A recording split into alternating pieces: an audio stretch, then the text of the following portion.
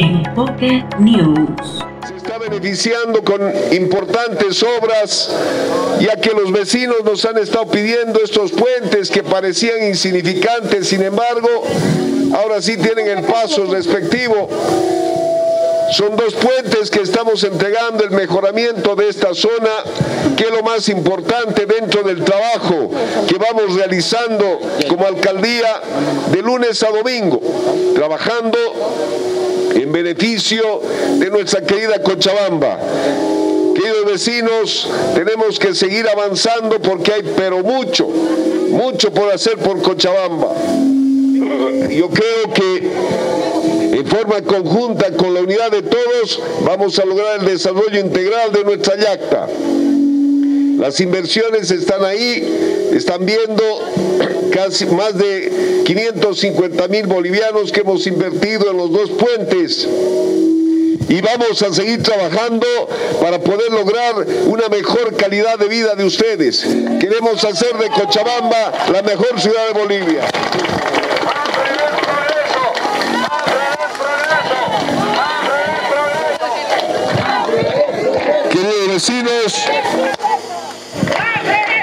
Ustedes saben que sabemos trabajar, que sabemos hacer gestión.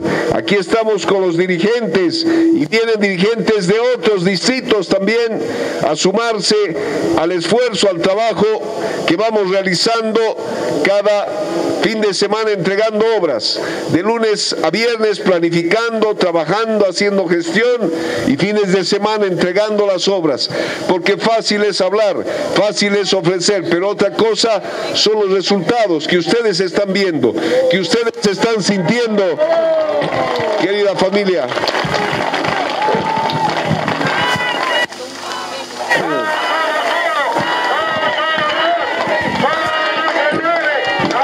Queridos hermanos, no se olviden, el distrito número 9 es uno de los distritos, por no decir el más grande de Cochabamba, pero es uno de los distritos más importantes donde tenemos que trabajar para poder lograr equilibrar la deuda social. Es importante, gente que todavía no tiene agua, que no tiene los servicios básicos, estamos trabajando.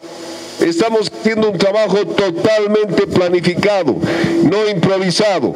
Vamos a seguir planificando, vamos a seguir avanzando y vamos a seguir toda la gestión, aunque a algunos no les guste, no importa. Mientras el pueblo esté unido, vamos a avanzar, vamos a estar juntos.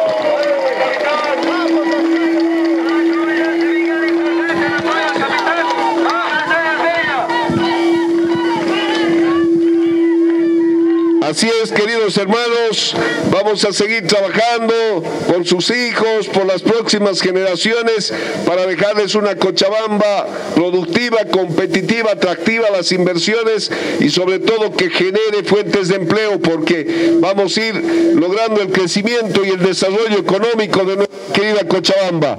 Tenemos varios proyectos para esto. Yo lo único que les pido que sigamos unidos trabajando para buscar la mejor ciudad de Bolivia, que es nuestra yacta. Con esas palabras.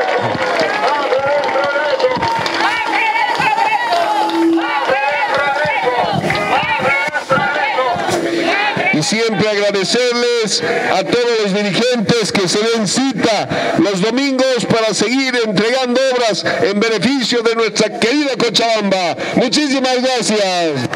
Enfoque News.